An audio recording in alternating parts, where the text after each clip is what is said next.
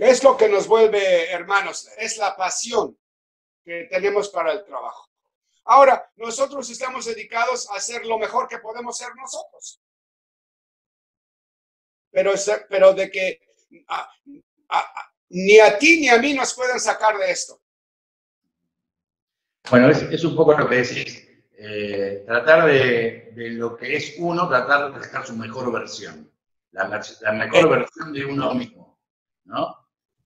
Porque ¿por qué nosotros como actores vamos a tomar nuestro trabajo menos seriamente que un doctor, que un abogado?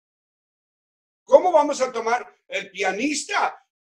Lo toma serio. El cantante y el bailarín lo toma serio. Nosotros tenemos que hacer lo mismo. Si es que realmente queremos ser profesionales, ¿no? Si queremos realmente tomarlo en serio. Porque mira, nuestro, nuestro, nuestro sentido de nosotros mismos, el autoestima lo necesita. Mm. Bueno, podremos, es un buen tema para, para, empezar a hablar, el tema de la preparación, ¿no? La preparación física del actor, es un buen tema para, para poder comenzar la charla. ¿Qué te parece? Se me estaba ocurriendo, se me estaba ocurriendo que lo importante que es el cuidado que uno tiene que tener con el instrumento. ¿Eh? Ahora, tú y yo tenemos la obligación de educarnos a lo que es nutrición verdadera, el ejercicio, lo que como la yoga, el ejercicio, las meditaciones, todo lo necesario para que el cuerpo esté sano, salvo, Ah, y este, la, hidratación, la nutrición, el descanso, la higiene, lo principal, porque es un, estamos hablando de un instrumento de expresión. Como un instrumento debe estar bien afinado para que suene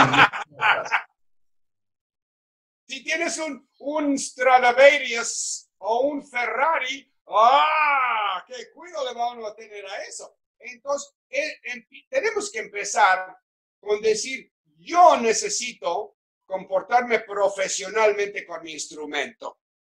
Y yo necesito educarme. No sé qué, yo comer comida, no sustancias que parecen comida. O sea, la comida, la bebida, el viaje es muy difícil porque te dehidrata. Cada hora de, de vuelo te quita una, un vaso de agua. Cada taza de café, cada bebida con alcohol. Uno tiene que saber lo que a uno necesita ayudarle al cuerpo para estar fuerte. Y luego empiezan los esfuerzos artísticos.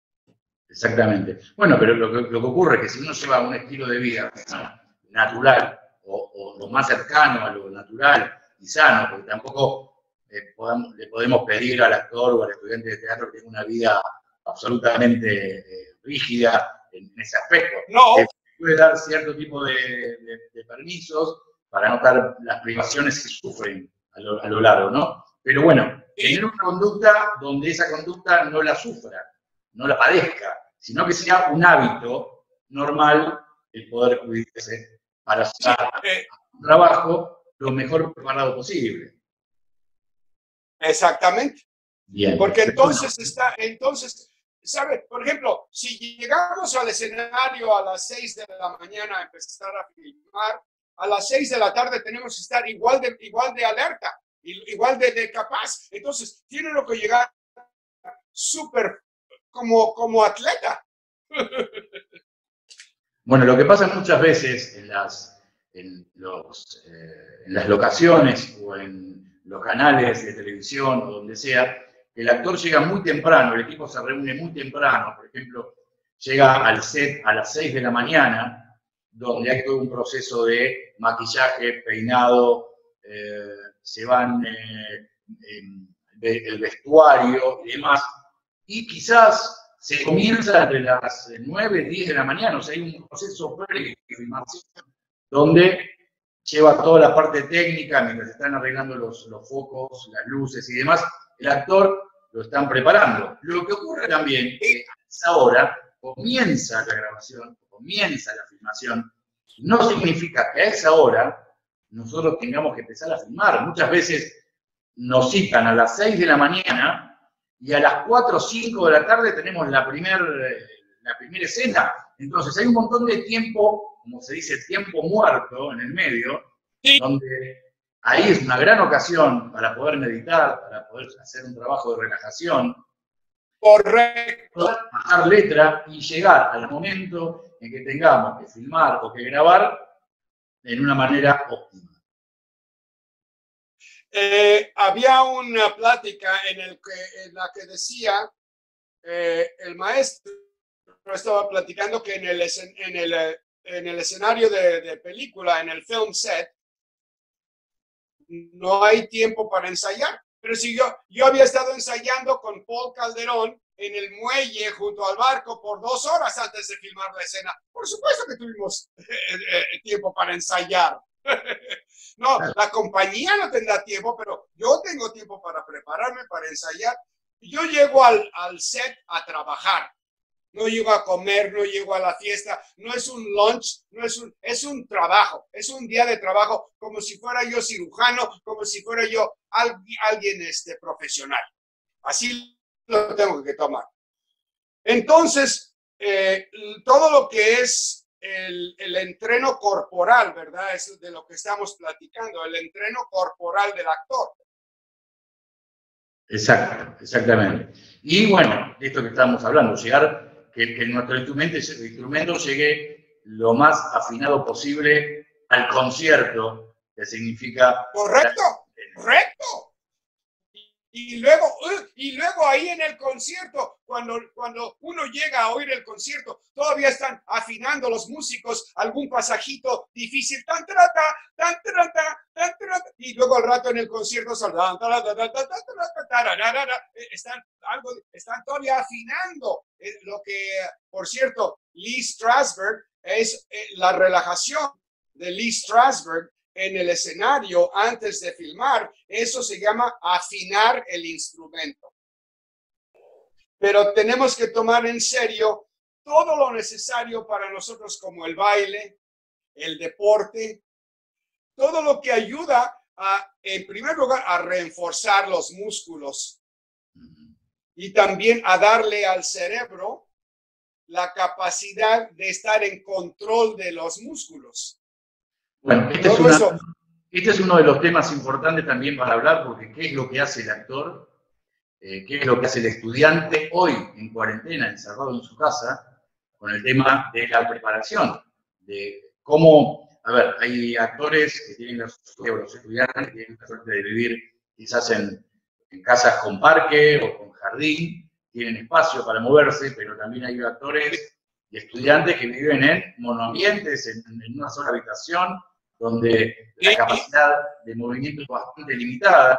Lo bueno que tiene la relajación, que tiene el método, es que no, no se necesita mucho tampoco para poder relajarse. Con una silla en la casa.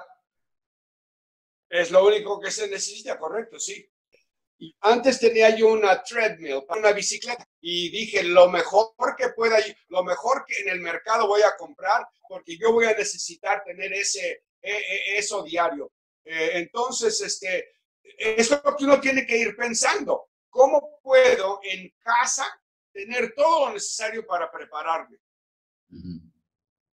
Sí, sí. Bueno, lo que, lo que nos pasa muchas veces es que nos absorbe mucho la tecnología y estamos mucho tiempo frente a la computadora o a los aparatos electrónicos y, y eso nos lleva al sedentarismo. Ahora que estamos hablando justamente del tema de la buena alimentación y demás, uno comienza a tener malos hábitos, pero básicamente porque no, eh, no está en un ámbito habitual, no está haciendo bien, en la esto y lo otro. Entonces, lo que es muy recomendable de hacer en estos casos sería utilizar la, internet porque está bien y es, un recurso claro pero cada una hora más o menos podemos levantarse, hacer un poco de estiramiento, mirar por la ventana, respirar, salir de la, de, la pantalla, del, tema dañino de la vista y poder recorrer, aunque sea dentro de un par de metros cuadrados, hacer estiramiento, y demás para no enloquecerse y para no colaborar a ese sedentarismo, ¿cierto? Por cierto, de lo que estás hablando es todo un tema súper importante, Mariano, porque mira, ahorita el actor de 15 años ha estado metido a la, pantalla toda la vida, pero no ha tenido la, la experiencia de no tener eso y tener al mundo. Entonces, el actor joven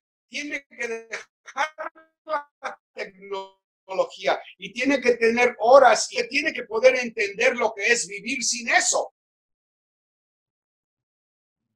Bueno, y es muy difícil, ya de por sí el adolescente está, eh, es, muy adicto al, tema electrónico. Y ahora en cuarentena, donde no hay otra opción más que esa, eh, es mucho peor. Es como cuando, cuando hablamos de las fases de la cuarentena que volvemos para atrás, porque subieron los picos de contagio, bueno, en la fase adolescente de tecnología, con la cuarentena hemos vuelto para atrás, o sea, porque no hay muchas opciones más para poder ofrecerle que no tenga eso. Un libro, bueno, es una generación que lee poco, que no tiene la, facilidad de encontrar un libro, de, de, poder disfrutar de un autor, de una obra, de una novela.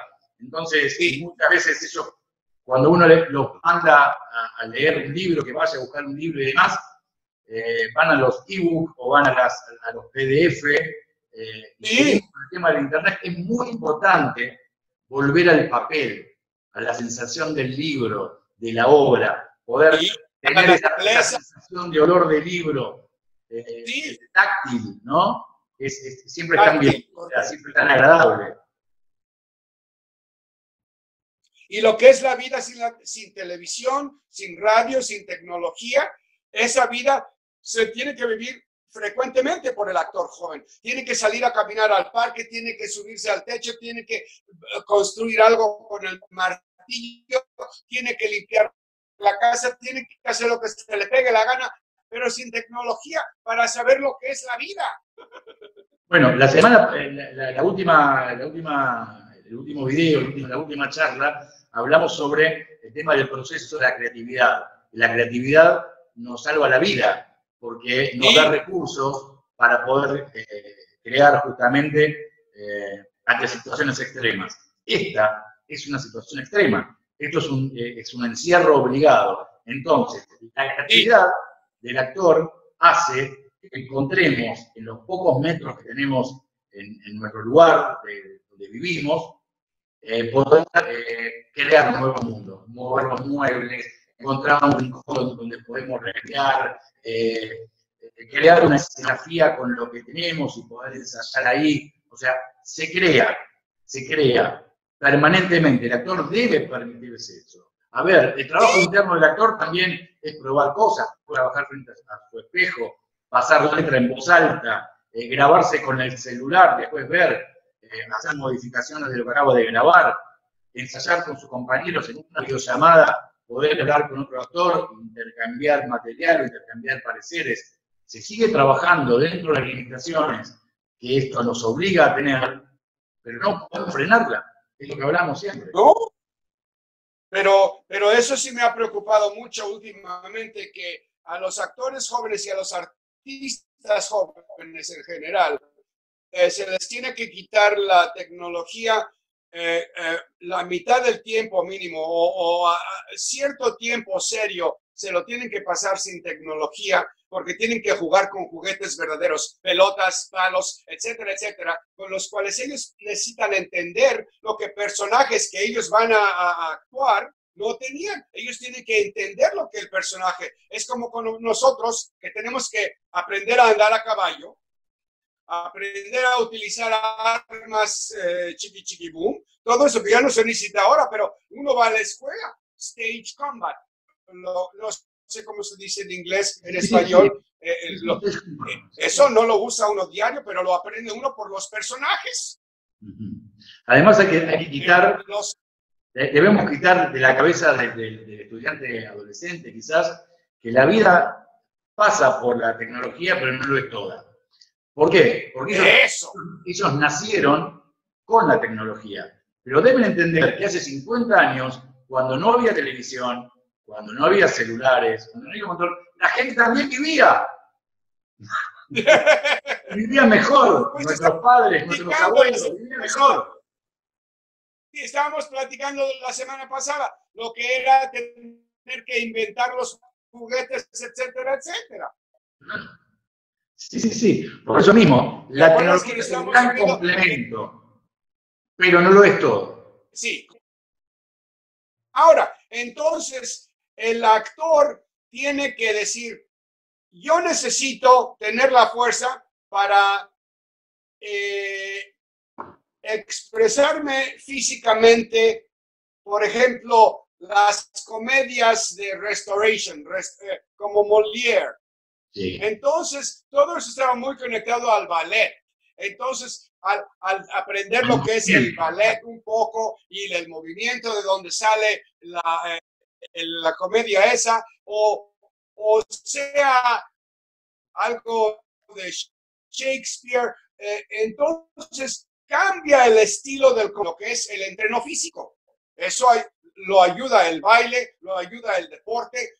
Ahora, nosotros también hemos estado aprendiendo técnicas físicas para el teatro, como la relajación de Lee Strasberg, eh, ejercicios que ha hecho Sandy Meisner, Stella Adler, todos se enfocaron en lo que es la vida física. Creo que con Stella Adler, ella también le enfocaba algo de atención a lo que era estar en contacto con objetos con los que se hacen, eh, por ejemplo, escobas, trastes, eh, utilerías.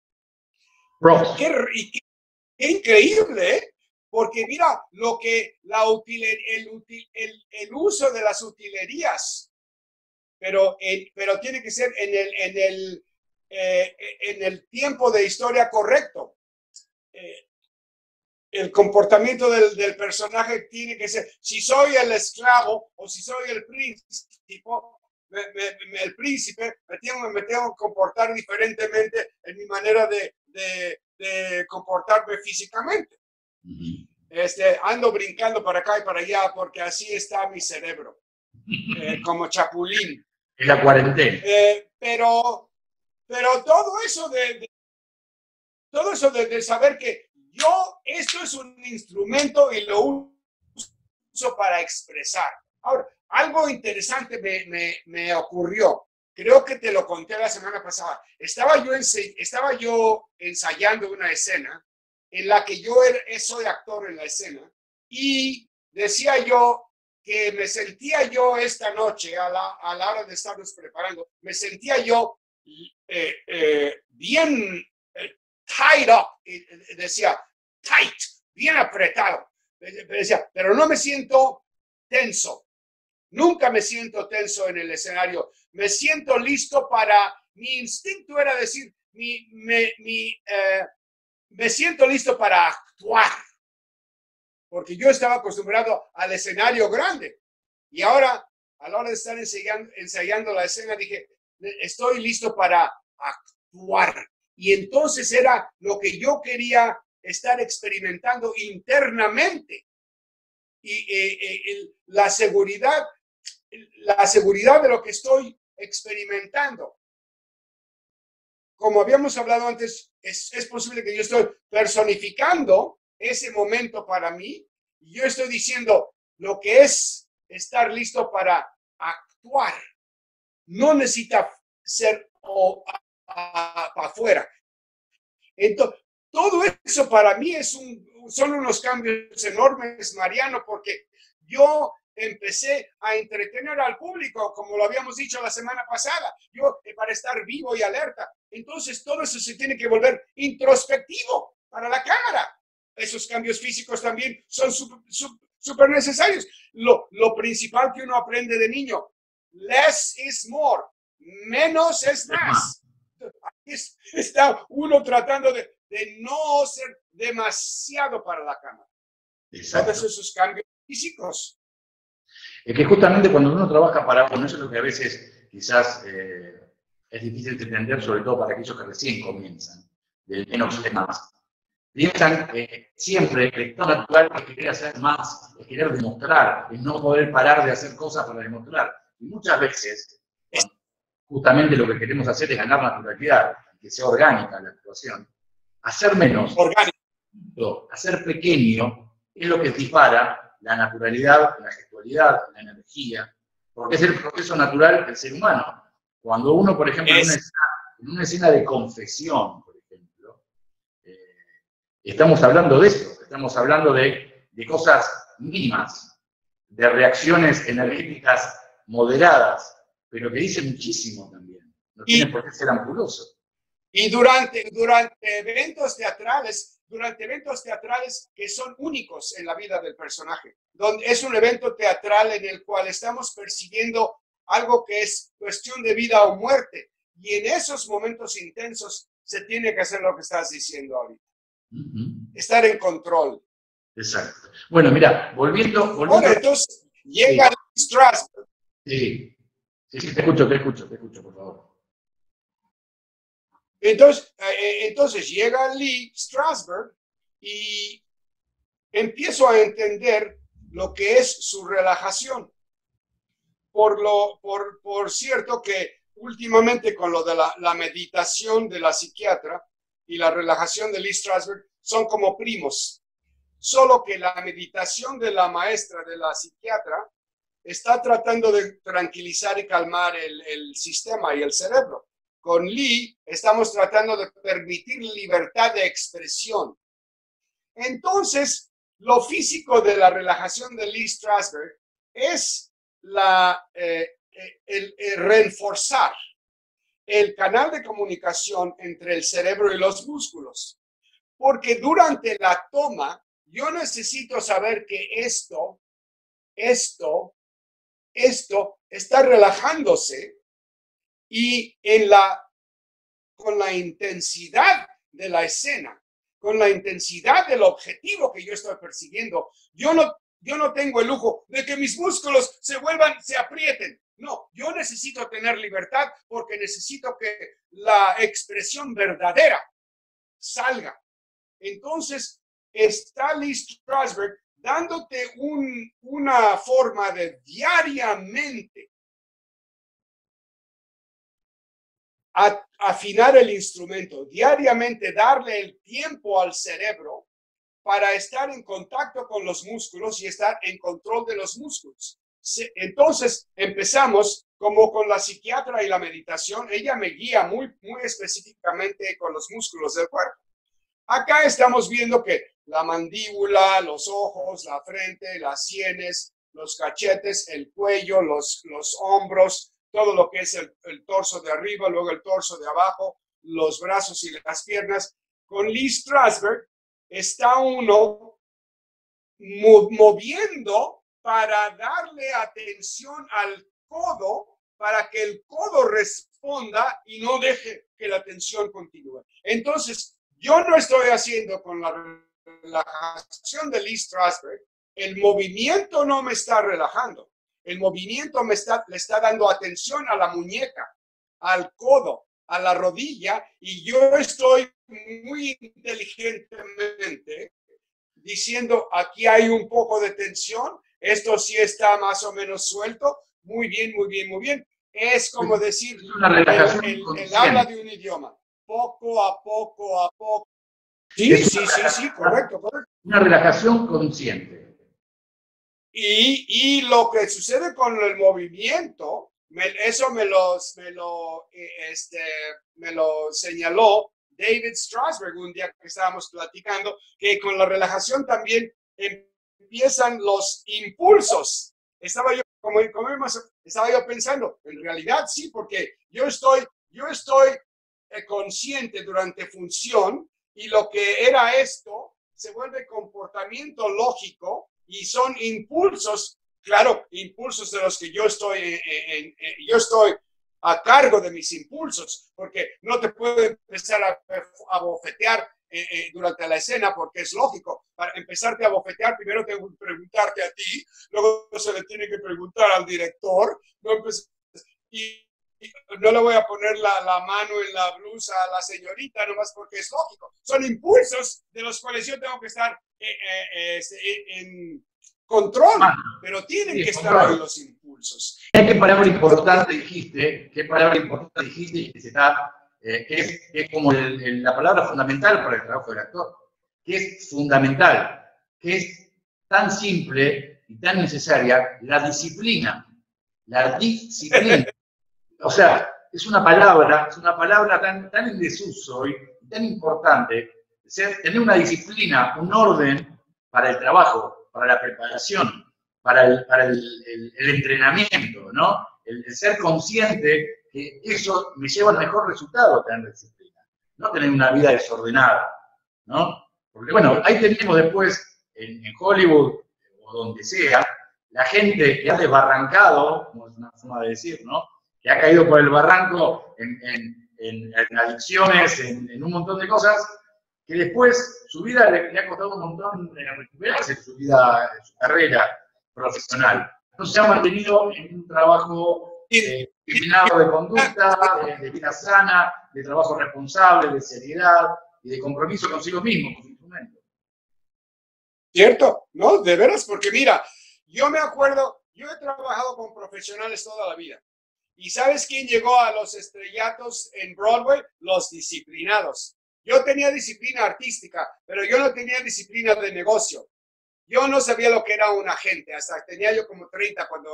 Pero los que llegaron a, los estrellatos, los disciplinados, los que aparte del trabajo artístico también tenían la seriedad del negocio, esa disciplina, porque mira, el productor va a montar una obra de 5 millones de dólares y te la va a plantar en los hombros y eso necesita disciplina y seriedad.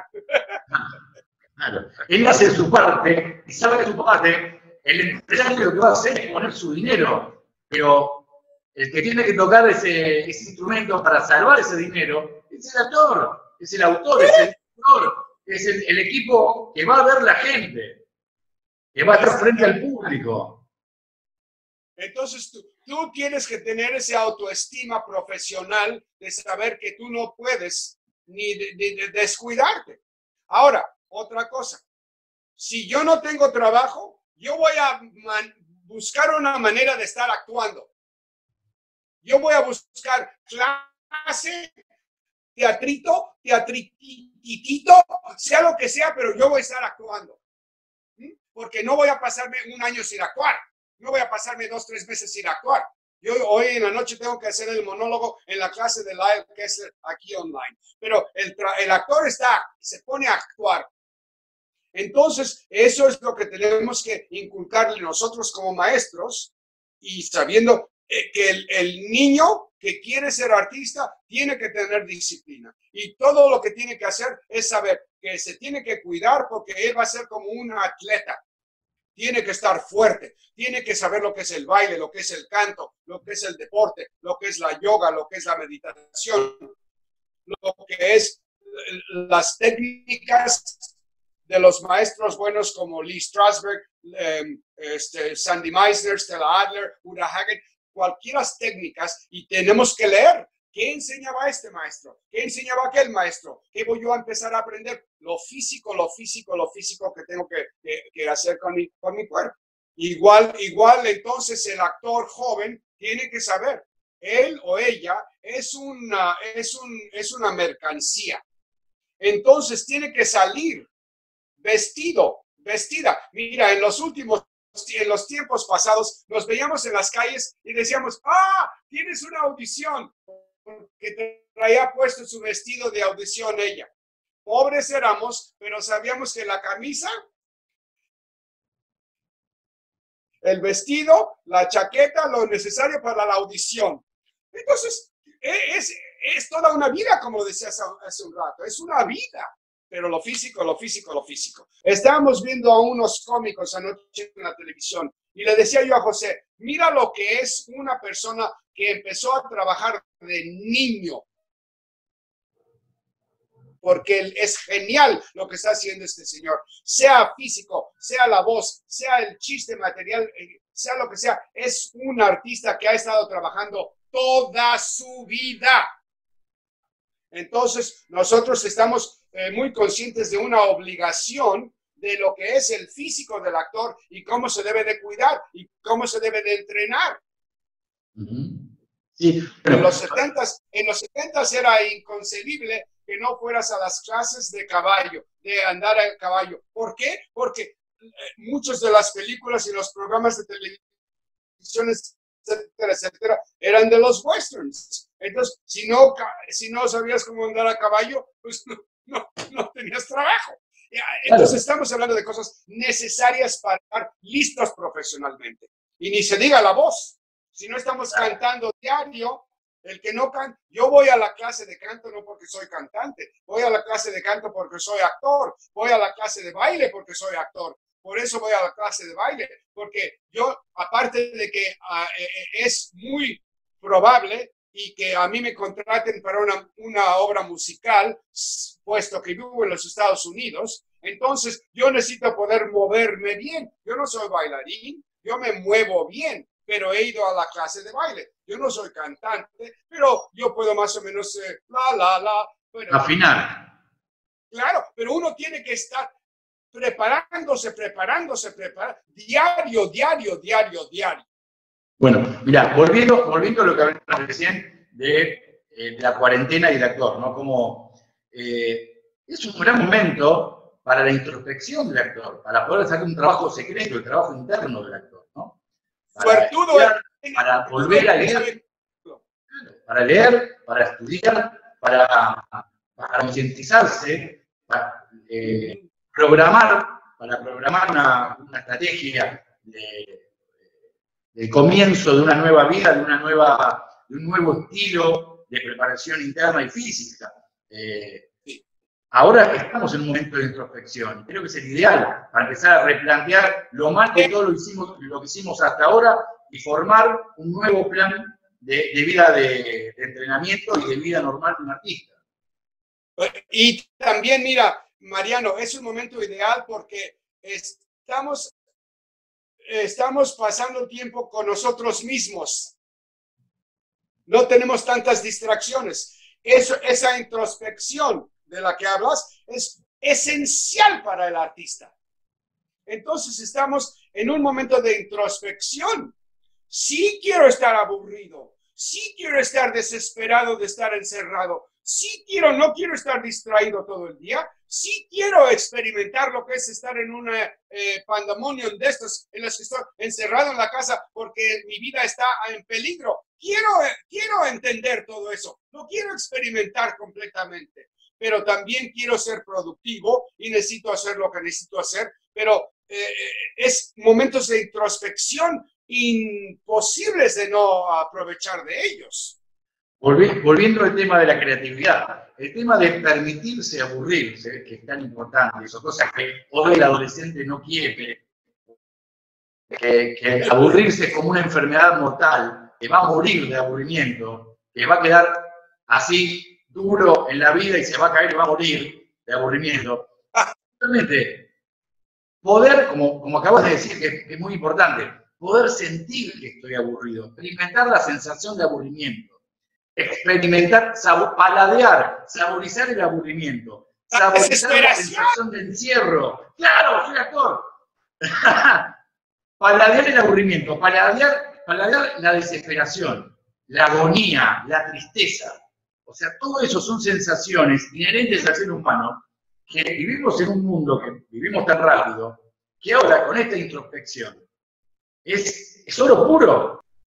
Einstein tenía un cuadernito junto a la cama, porque cuando menos estaba pensando, le llegaba la respuesta. Mm. Entonces, cuando, cuando el cerebro se tranquiliza, iba, ¡pum!, le llegaba la respuesta de la matemática de lo que estaba estudiando. Entonces, estamos aquí viendo que nosotros necesitamos tiempo introspectivo. Hay un libro que se llama The Artist's Way, el, camino del artista. Y entre todos los ejercicios que hace la maestra, muy divertido el libro, entre muchos ejercicios, ella sugiere una auto, eh, cuando tienes una cita con alguien muy linda, ¿cómo se llama eso? ¿Una cita? Una cita, sí, sí. Tener una cita con ti mismo, irte a almorzar con ti mismo, llevarte a ti al teatro, llevarte a ti al museo, Agasajarse. Esa es una, eso es lo que el artista. ¡ah! Eso es lo que necesita el artista. Había una película de Peter O'Toole y él, él, era, él era actor como personaje y tenía una cita con una joven muy bonita y antes de salir de la casa,